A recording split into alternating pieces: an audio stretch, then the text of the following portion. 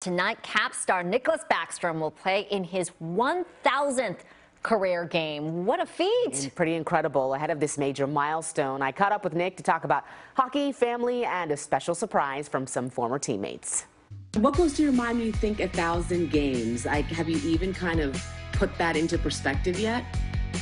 Uh, no, I don't think so. To be honest, I mean, I, I think it will be pretty exciting when on Thursday when when it happens, and uh, I'll have my family there too. So I think that's that's going to be great. You, Zimmerman, Ovi, you know, Bradley Beal. It's like all of our our stars here in DC. We've watched you all um, grow up, and so, uh, you know, just what has it been like for you? Just even life off the ice.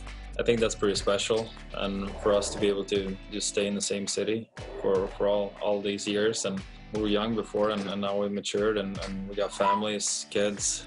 Uh, it's been it's been an incredible journey for me. I mean, I I, I love the, the city. Uh, I couldn't couldn't see myself somewhere else. I just love the fans here and, and how they're taking care of uh, yeah, the players, how they support us. What's your favorite part of just your family life and, and being a father and your kids? What's your favorite part? Just see their smile. Let's go, Caps! Let's go, Caps! My kids getting at that age now, they're like asking me, are you off today or do you have a game today? And then and I'm like, yeah, I got a game today. They're like, oh, all right, we'll wait for tomorrow then. We'll, we'll go play. And, and they get so excited and, and that's that's that means a lot for to be a dad how excited they get such a beautiful family there. Really? Uh, during the warm-ups tonight, all of the Caps will wear special jerseys in Backstrom's honor. Everyone will wear number 19, which he said will be a little weird to see.